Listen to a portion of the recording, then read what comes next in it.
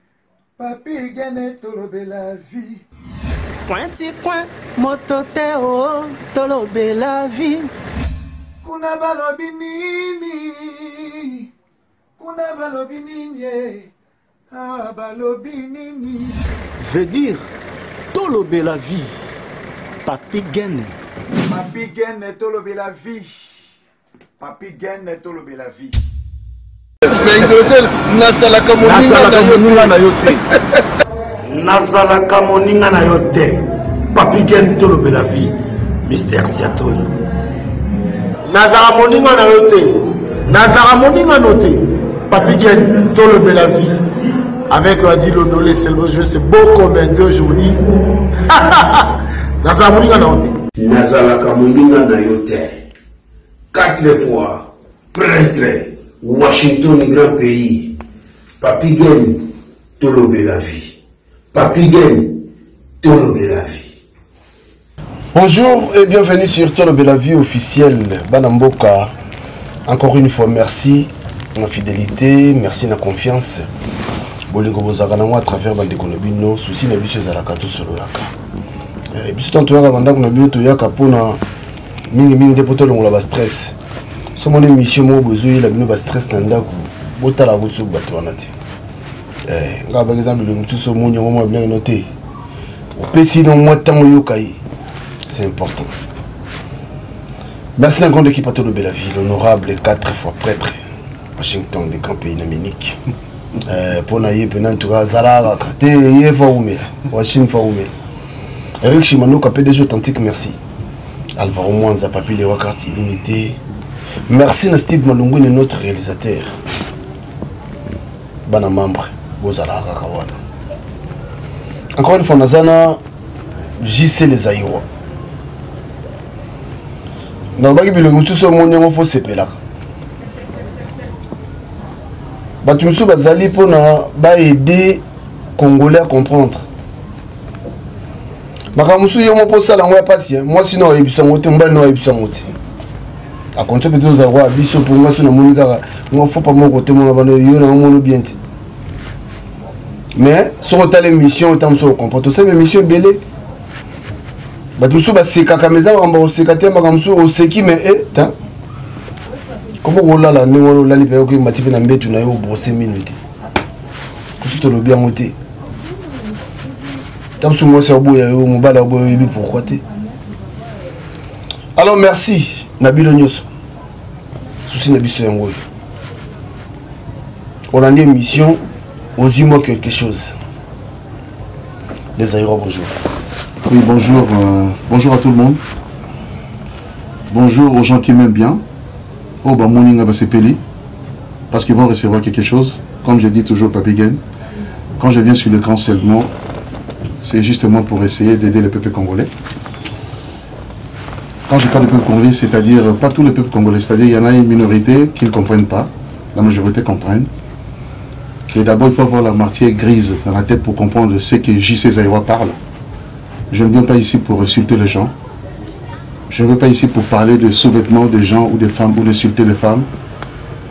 Non, non. Je suis venu pour aider le peuple congolais parce qu'il y a beaucoup d'entre nous qui sont dans les dans et ne savent pas quoi faire. Ma présence, c'est ça. Aujourd'hui encore, Papa Yen est venu me chercher, ou bien on se retrouve dans l'endroit habituel, justement pour parler d'un sujet qui va aider les gens. D'un sujet qui est le mobile, qui est le soubassement une couple euh, dans, le, dans notre communauté congolaise. Essayez de me comprendre, quitte à vous à décortiquer, prends ce que tu veux prendre, jeter ce que tu vas jeter. Mais moi, je suis là pour tracer et je passe. Comme on dit, le chien boit, la caravane passe. Et j'ai passé, je passerai toujours. Je ne suis pas là pour faire les rendres avec les gens. Je n'ai pas de problème avec quelqu'un. Je dois personne. J'ai aidé les gens. Mais même si je n'ai pas de retour, Dieu est seul,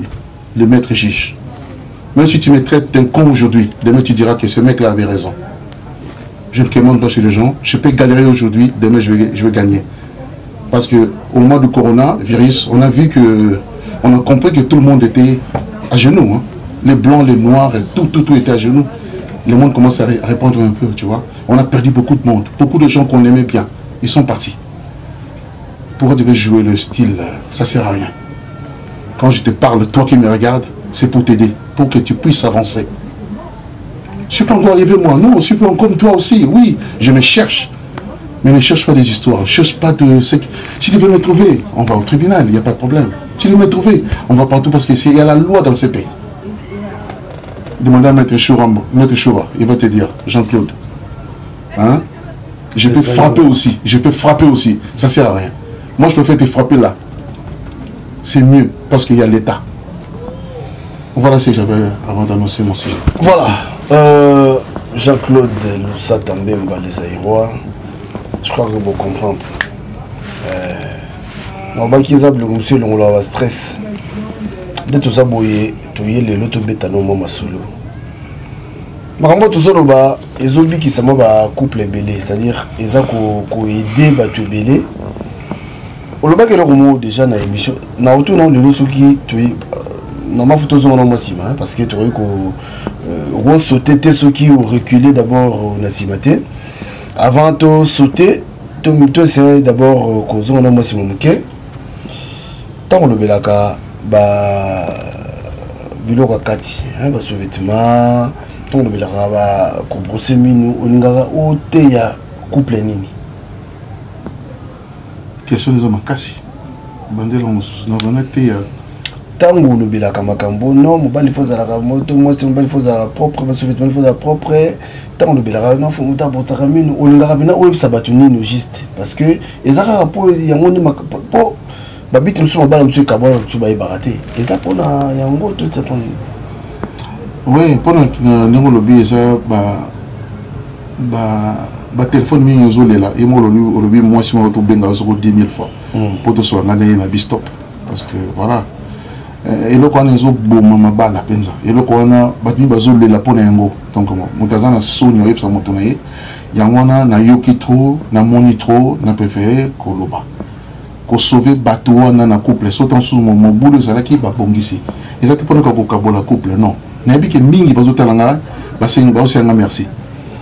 parce que badéfaillance ezali trop ezala côté mama ezala côté papa c'est vrai eza sujet moko tosi tolobalaki yango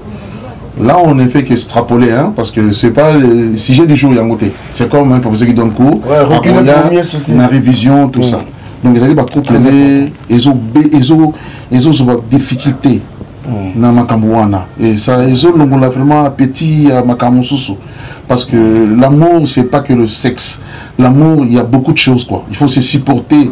ntango omoni moto aza ndenge wana osungi ye parce que olingi ye olingi mbongo na ye te moto aza ndenge wana aza ndenge nini c'est-à-dire que aza na ba erreur mwa moke moke mpo ameka kobongisa nzoto na ye mm. c'est-à-dire que voilà quoi c'est pas que il faut que je sois avec un mari, il faut que je sois avec quelqu'un pour être propre. Non, tu peux être tout seul ou toute seule, mm. appliquer l'hygiène, quoi. C'est pour toi. Et bon, bateau, yo, eh, mpo na ye ayebi non non bon nalinga nanga jona mpo na lar to nalinga nanga momela mpo atya nga balar mais bakote mosusu osanti mpenaki non eza na ba eza na badeséquilibre moko ya lelo ti lobi sikoyo fo basala nini fo continuaka kolanda lar to nini wana comme nalobaki ke baintérêt eza mingi en tout cas côté wana eza mwa complexe moke parce que moto mosusu akosupporte na ye na nyonso tout mpo ayebi ke na suka aza na but na ye ozala solo ozala mapeka solo ozala soko ndenge nini ozala soko comment ye mpo na ye elle n'a rien à foutre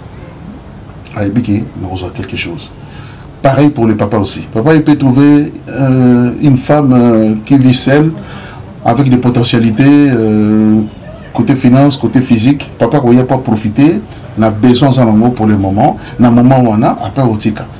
voilà soki olingi moto na ndenge ya solo okozwa démarche ya kosunga ye nabeti so matolo na matolo comment on ça nalobi so na bato oyo bazokokolo oyo bazocomprendre te c'est-à-dire que celui qui comprend pas celui qui va faire des commentaires celui qui va penser je m'en contre fou donc je m'en fou na oyo yo ozopense na minute oyo mpo na nga voilà sujet wana yango te tozoloba mpo tobongisa soki ozalaka bien te omeimportant parce que c'est un sujet eh, oyo eza lelo koréparer cestadire nakobenga oyo un sujet réparateur eza sujet moko lelo soki otali bien eh, pardon nakoki nakolobaloba mingi mingi no te sikoyo oyebi ke bato mosusu mpe soko reproche ntango mosusu mpe na couple oyesi mwasi to mobali oyebi no mais chéri naomona boye te naomona boye te ntango mosusu mpe yakomona ntango mosusu yango moi ntango mosusu bato mosusu bakoka mpe koloba te bon na bande lisusu bape gani conseil nini opesa bato oyo bakoka koloba te yango monake nasenalingi mobali na ye te aza na yo parce que nayebi mwasi moko boye na ntango parce alobaki natanga nkombo na ye na otanga na nga te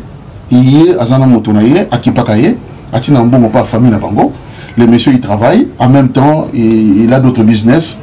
donc euh, oyo esukaka bango loba fin du mois na bango mm. monsieur aza na bamoyen na ye moke moke parce que na poto toyebi biso na sodu salaire yango ebandaka combien hein? toyebi ke ya partir ya smic eza combien soki moto aza mwa bien eza combien soki boye na boye eza combien soki na beti mwa koto eza combien soko ndenge nini toyebi noma kotimbisa moto aza te otambola na ka to oza na pale toyebi toyebi na biso elo moko obangisa moto mpe mama moto abanga moto aza na kisasa osombi na kisasa oye wana oke bandal ovandi toke mombele ovandi oyebi epa na yo awa eloko te moto ata mosusu azosala bongo parce que ayebi intérêt na ye alingi moto wana te alingi yo te alingi kaka azala na yo mpo na moma moko boye azoprofite yango nakoki biso verité te mais so olingi moto okangeli motema te oyebisaki ah, ndenge eza wana namoni oprose bien te namoni eh, bien te akoyebisa yo ndenge ezali akoyebisa yo keno mama omoni biloko oyo fozala nango ata 64 Ah, nakoma lisolo kati ndenge nini non ntango mosusu boke 12 12 12 12 12 oke kote oke na marché oke na carrefour oke na je, je le répète dis ce que tu dis je m'en fous euh, osombi yango voilà quoi ça tourne ça tourne ça tourne ça mais sikoyo mais sikoyo est ce que faut kaka moto aya koyebisa euh, akopesa yo conseil to foka to mobali to mwasi mwasi na yo to mobali na peso conseil est ce que yo moko ntango osentir mpe kena yango ntango mosusu mwa mapeka mwa genre euh, to mwa euh,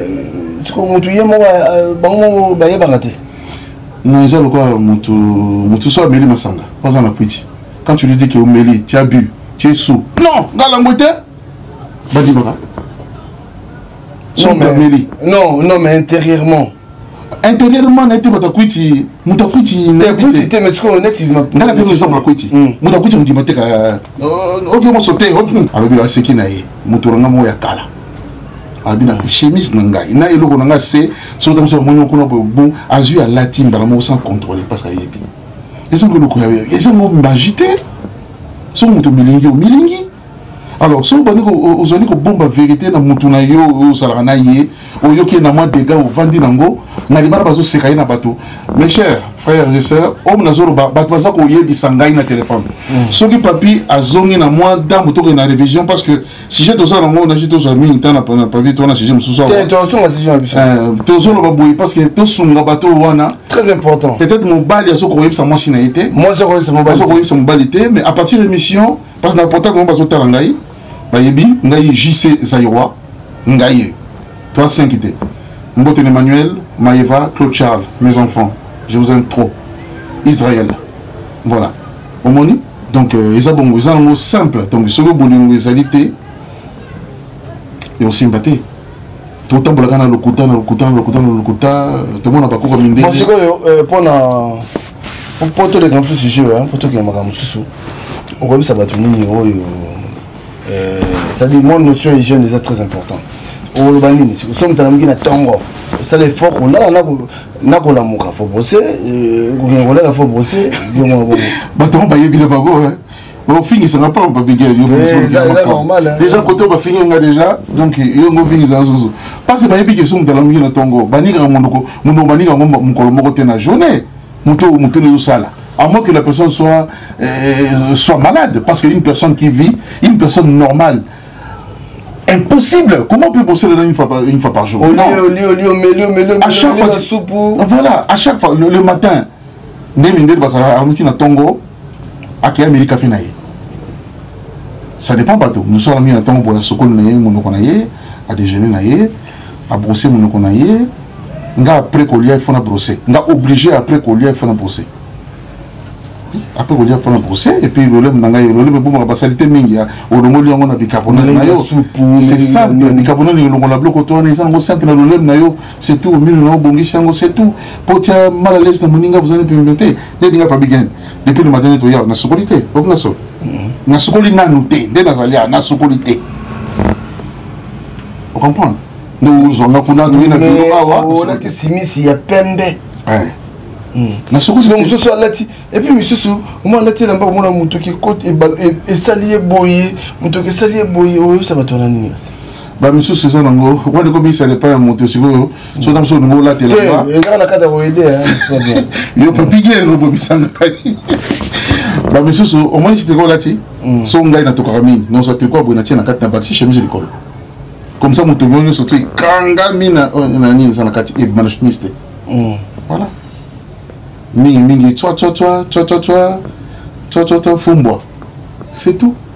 nini mfumbwa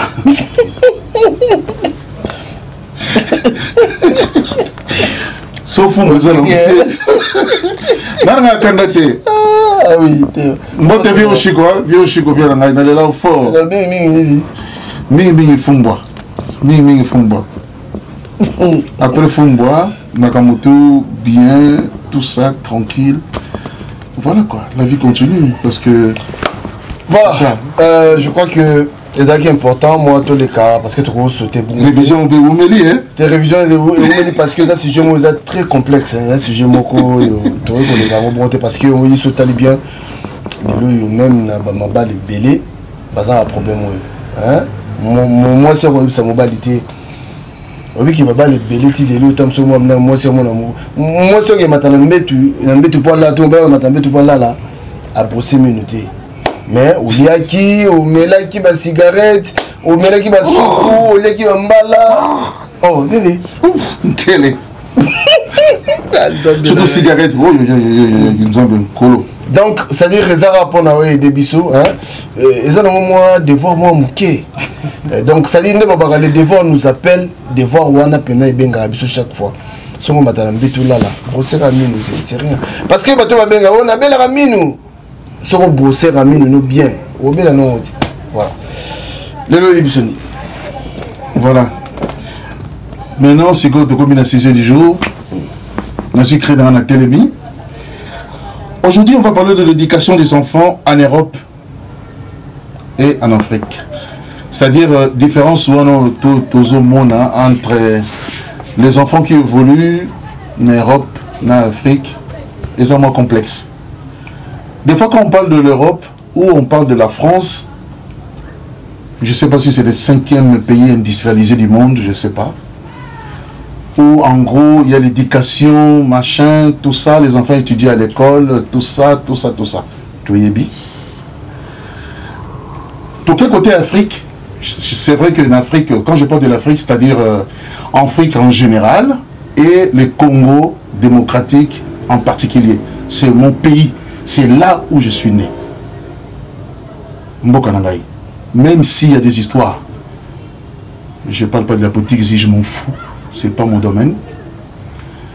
Mais ils ont moins passé. Et pourtant, là-bas, en Afrique, il y a des enfants où les parents n'ont pas de moyens,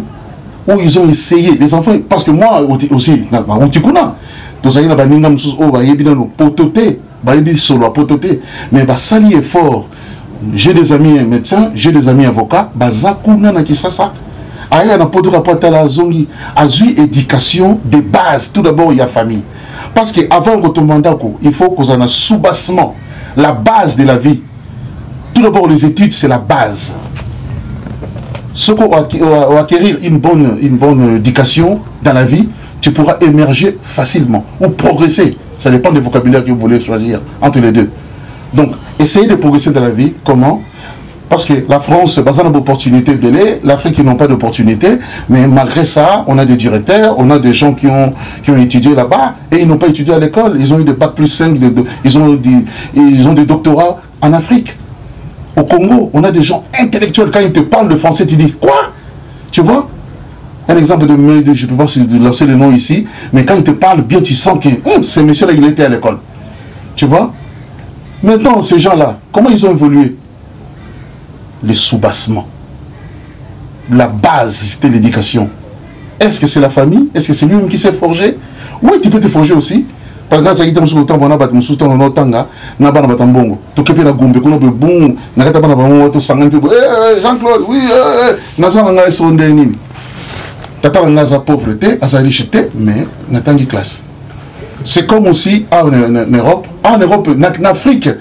eza difficile parce que toza na nzala toza baarchitecture mingi te classe ezali kofuta makambo ebele ebele eza mpasi mais tandis que en france aussi attention ya la cantine il faut kofuta yango biloko ebele ebele ezofuta et puis baparent na biso comme le sujet nous dit l'éducation na france na euh, disons europe na kuna différence eyali pourquoi différence eyali makasi parce que awa tozomona bana bazobeba facilement mm. baparent oboti mwana oyo nzambe apesi yo gratuitement au lieu de s'occuper de ton enfant ozokipe oza kosala attention na bafutilité mm. c'est-à-dire baparent baza kobunda na biloko ya futilité il faut d'abord voir l'éducation des enfants mm. nalobi teki ngana eza parfait peut-être j'ai failli un jour ou bien nasalaki eloko mo boye je ne suis pas parfait papigel je ne suis pas du tout parfait nazoloba ke tolanda éducation ya bana biso biso tosali za nzela na biso tozokende vers la fin bana bazoya il faut to aider bana wana comment on peut les aider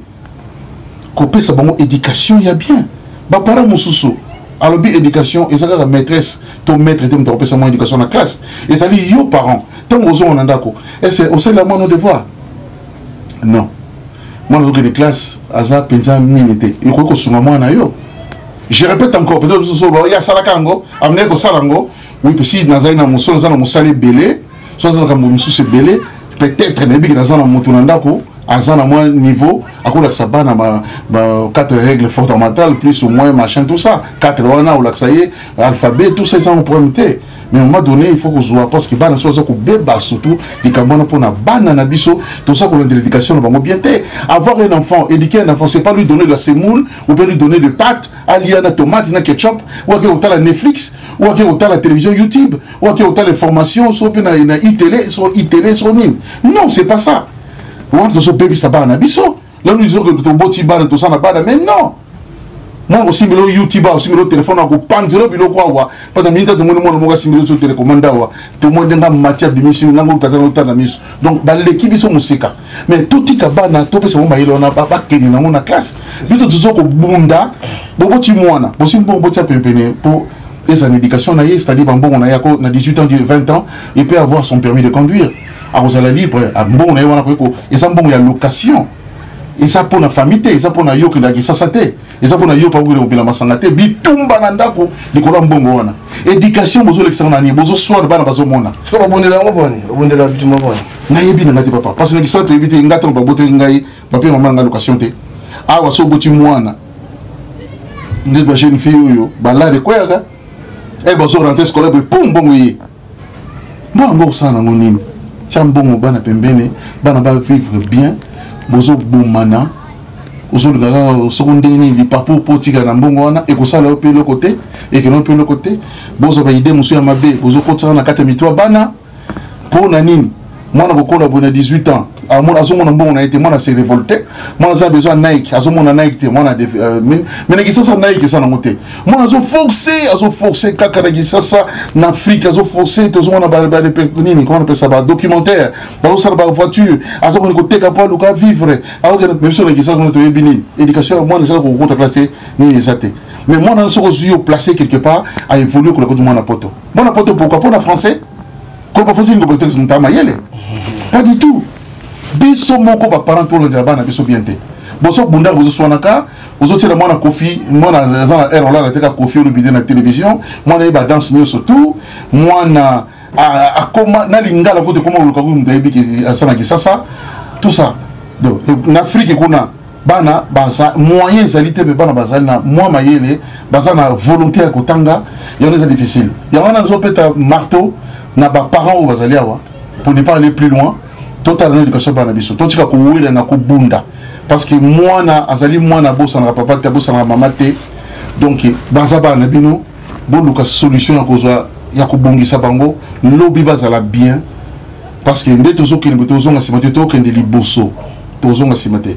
me sikoyo euh, bato oyo mpe bazobotaka mpona c'est-à-dire azobota mpona intérêt oyebisa bango awa ah, tolobaki ngo la fois dernier bato ebele bazobota mpe na intérêt hmm. baza na couple na bango mpe na ndako mpe bum eh, moto moko adeklaraki pampampa mwasi azwi to pampampa oh, laro wana ya ngai oh,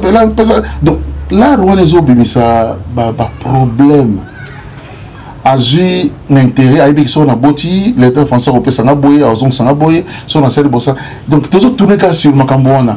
siko olala na éducation mwana ntango otala mwana boye mwana peni ata suki te mwana bakati suki te mwana ta mosuku kaleson maro trop mwana ozomona kaka mwana yango ndenge azali ezosala ona mpasi wana eza nini ezali baparent la base éducation ezali tout d'abord base ya yo parent aosengaka mwasi nde mbongo ya location familiale falaka tika yango azosengaka ndeko pesanga mbongo wana mbongo na ngai babundi kuta azokisaki ye lobi mbata kote oyo mwasi oh, makili ebimi na ndenge mpo na mbongo ya location epi mbongo ya location ozoleka na directement na compte ya papa non na ndenge nini siko mbongo ya location ozoleka na compte ya papa ndenge basololaki na bango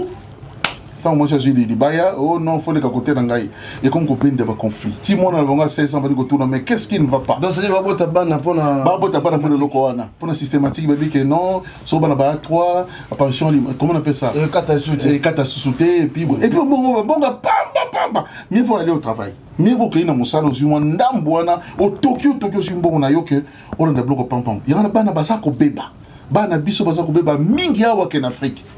so conseil noko opesa bato oyo nde nalobi wana bato oyo lelo oyo ta mosusu eh, papa makanisi na ye ezalaka na mbongo wana cetadire mbongo ya bana mpo ekabolo mabala ebele sikoyo conseil noko opesa surtout mibali parce que mbongo ya bana eza bana batika eza mpe ya mama te attention oui mais bana batikala trop na bamama normalement eza mpe ya bamama te eza ya bana mais sikoyo papa akende kotia carte na ye mpo mbongo abali eleka apa na ye conseil de koyebisa te ya mibali parce que mobali fo keluka na ntongo nde biso olamuka na ntongo nakoki kofinga tata wana te azotala nga tata yango mpe azwa mbongo na compte azwi mbongo ye moto aza na droit ya kafu wana hmm. nga na oyebisa yo papa ndenge toza na couple ndenge bato baza na couple mwasi moto azalaka mama na ndako quand je parle de mwasi aza mama na ndako c'est la personne qui t'aime vraiment oyo azo respecte makambo nyonso to oyo bouti na base mm. ye moto azo respecte yo pesa ye nyonso to pesa ye gérance ya makambo nyonso to so oza na confiance na ye mm. biso bapapa toa ondire towana biso na ndenge na biso okozwa mpe salaire na yo boye 1700 1800 ozwi ta 500 otie na poche oyo etikali kuna mama boza na projet mwasi na yo bosolola bobongisi mboka bana kutu etali ata yo te oyebi ke mwasi tanga kosombaka course mwasi tanga sonda bino olukelaka mwa tricot mwasi tanga boye na boye mpo esalamaka nango mais yo papa ozwi maboko okangi boke na boke ngai na bateki na ngai na bato bamelaka ti lelo ngai na nkamwaki na bino namoniki bato bangana bato bafandi bakomela mpe nabi oh tous les jours moto yango aza wana bambongo yango oyo tozwa dia mbongo eza mpasi me nde nini bato yango tous les jours nanga nango na biele eza so 5 euro tous les jours aza wana bon nayebi te sale pas vie ya moto mm. mais na question tuni ngai donc papa il faut mikobongisa na ndako na yo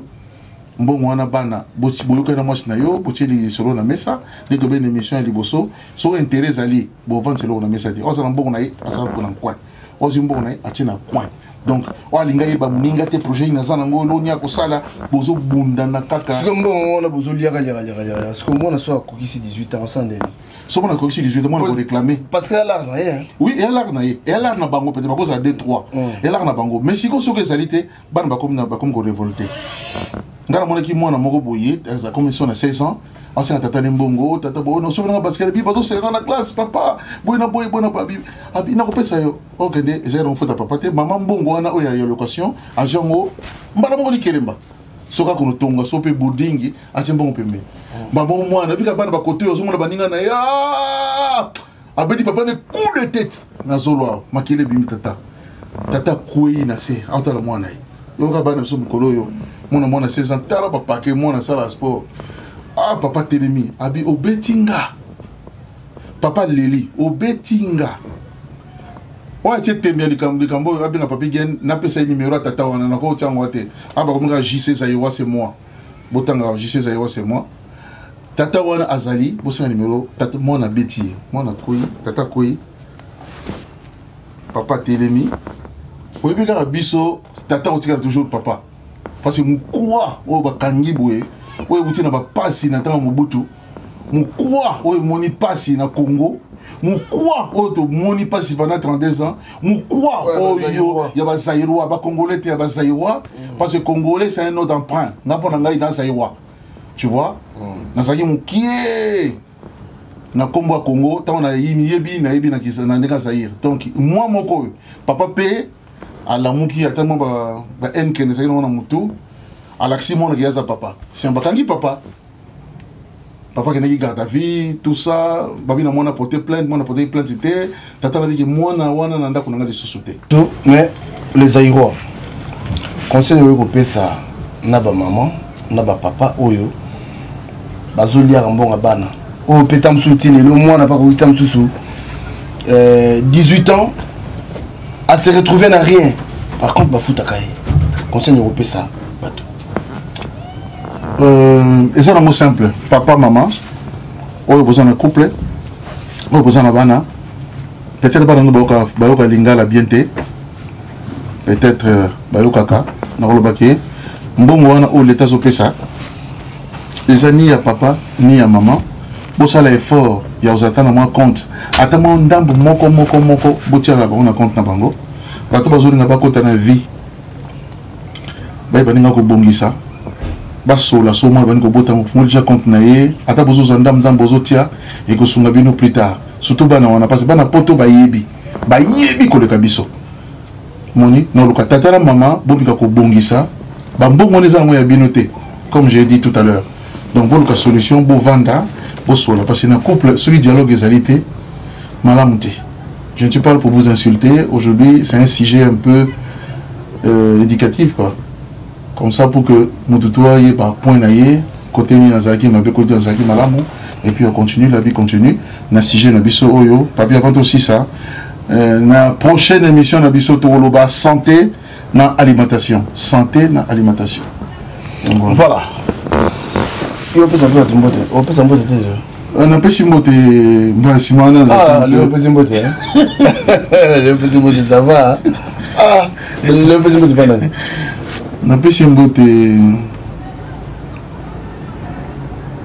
te epai ya moto te oh, ozongi lisusu nazongi lisusu motema boye epai moto te bozala bien toza toujours bana naluka ngai tokende kaka obeti ngai loboko oyo ndenge yesu ape kobeti ye awa nakopesa okoto te nakozongisa makasi ya tokondongwana ndapesi koto oyo donc oh, oh, obeti nga mbata eh. oganye nga te obeti nga mbata ya litambo eza ngai nakozonga soki awana kaka mais bible eboyi yango bible obiso bible eloba lokuta tona basujet ebele eh. noyebisa nini likambo balobaki epesa mbata kotobisa mbata oyo eh. banso bakomprene yango te nokolakisa bango ndenge balobela oh. Oh, tozali awa te toali awa o oh, émission ata 50 émission toali awa ozongisa en tout cas ah. coupe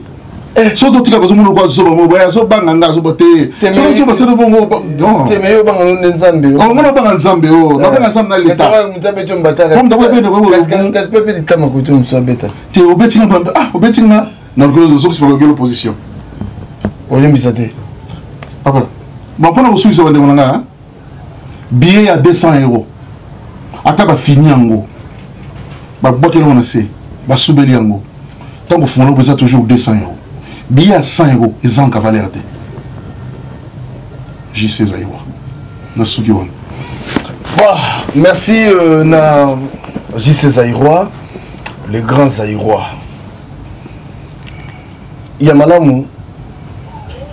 salela ya mabe longola mais je crois que ya mabe eza te mpo makambo oyo ebele mbongo ya bana mbongo ya location familiale ntango nayebaka te soki elekaka kompe nayebaka te parce que moi je suis un bosseur bato bayebi bayebi eh, soki oyebi no te ça sert à rien mais bato bayebi bayebi papigen se réveille le matin pour aller au taf mponaki koluka ya koluka koleisa na mwasi oyo alia oyo azwaka allocation familiale na bana parce que eza charge na yo tokimaka charge te kokima charge te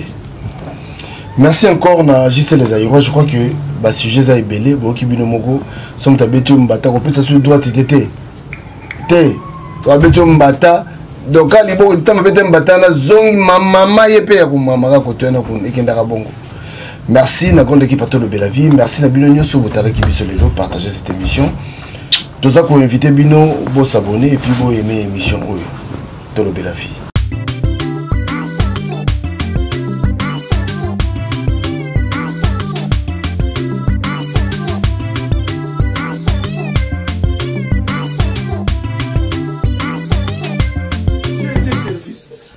service yango toza na service jete service eza pratou pratou